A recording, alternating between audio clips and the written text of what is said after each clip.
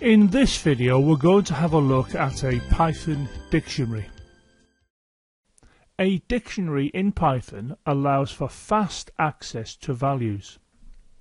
You do not have to iterate over a dictionary searching for a value. Access to a value is via a key allowing for direct access to the value. Let's consider the following. Here you can see I have a table and the table has two columns and three rows. If we have a look at this particular column here, you can see that it has UK for United Kingdom, France and Germany, and here it has a value. Now what we have is an arrangement whereby if I wanted to know what the capital of France was, you go here to the key and you come across here and you can see that the capital is Paris. If I wanted to find the capital of UK, we locate the UK key and here we can see that the value is London.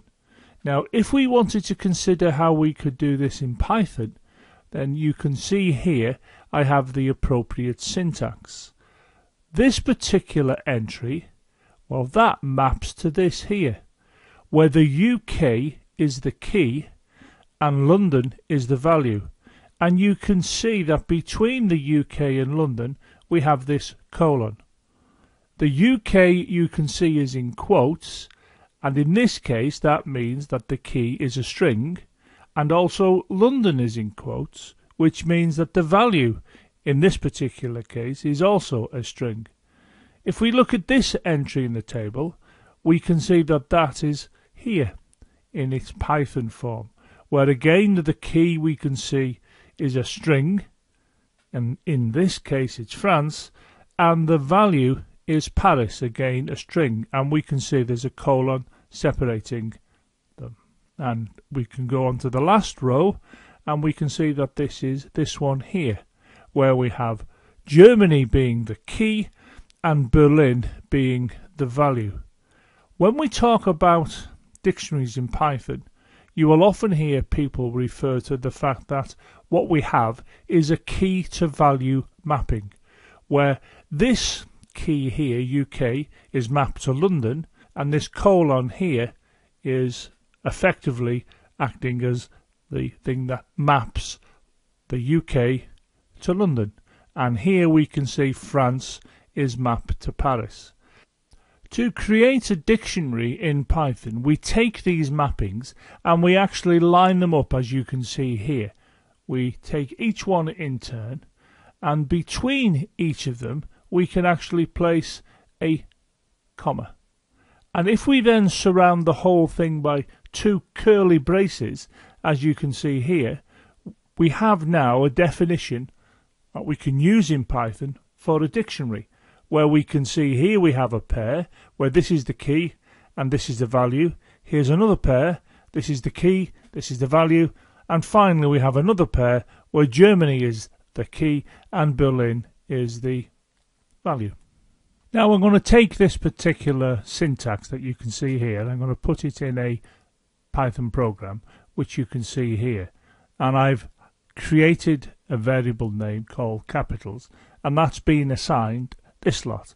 And if you look carefully, this is exactly what you've seen here. And of course, what I'm doing on this particular line is printing capitals.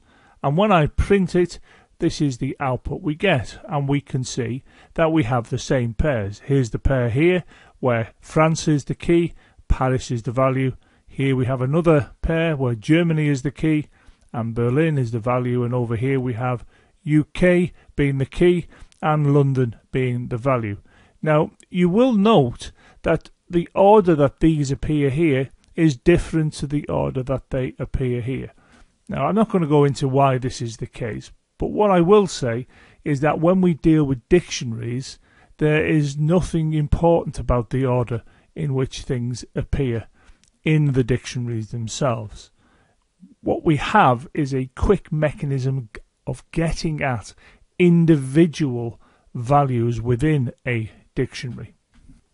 Let's consider this computer program and it's pretty similar to the one we've just been concerned with. We can see on this line that I'm creating a dictionary and we've looked at this particular dictionary a moment ago. Now this line is what has been altered. You can see I'm still going to be printing something associated with the dictionary capitals but if you notice following the word capitals we have this here which are two square brackets in which we have a string UK. Now that's the key and what this key is going to do, it's going to go to the dictionary, it's going to see where the key is, well it's here, and it's going to say, right, what value is associated with me? And of course the answer is London. So when the program runs, what's going to be output, as you can see here, is London. Please note that when we created the dictionary on this line, we actually used these curly brackets here. When we then went on to this line and we wanted to locate the value associated with this key, please note that square brackets were used. So it's important that you realize where to use the square brackets and where to use the curly brackets.